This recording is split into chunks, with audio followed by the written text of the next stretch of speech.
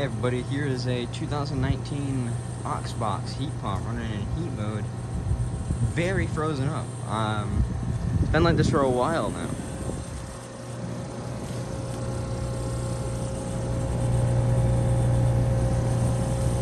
That's thick as crap.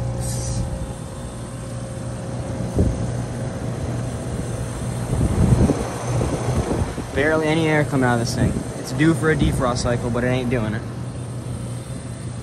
Just got that Goodman defrosting earlier.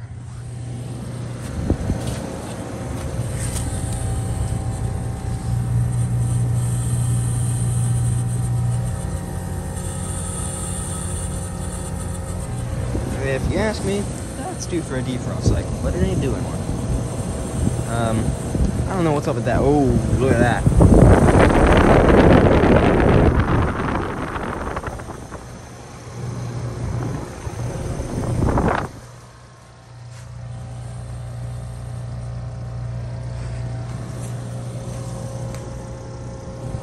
It is certainly time for a defrost cycle, but it, it doesn't think it on. So it's on.